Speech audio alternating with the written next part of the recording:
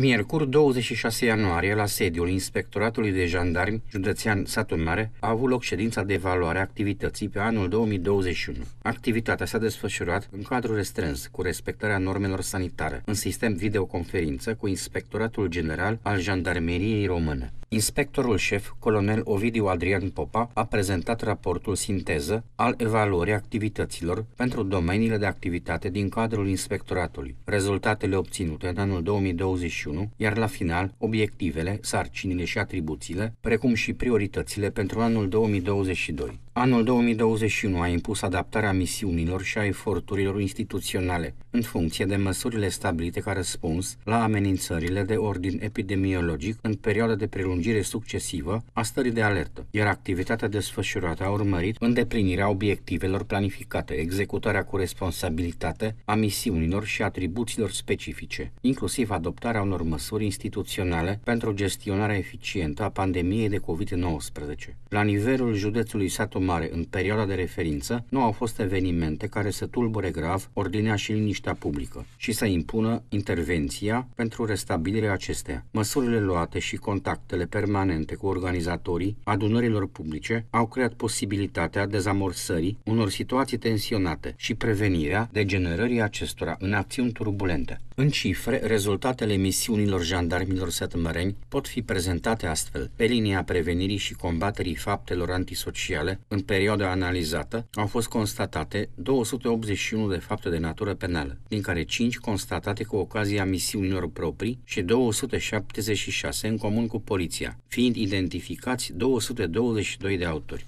Activitățile specifice desfășurate pentru combaterea faptelor de natură contravențională s-au concretizat în aplicarea unui număr de 5076 sancțiuni, în valoare de 760.400 de lei. Pe linia cooperării interinstituționale, efectivele unității au participat la un număr de 1033 de misiuni în cooperare cu instituțiile partenere. În ceea ce privește activitatea de accesare a fondurilor externe nerambursabile la nivelul unității în anul 2021 s-a finalizat implementarea proiectului Securitate Transfrontalieră, îmbunătățită, cu finanțare prin programul România-Ucraina 2014-2020.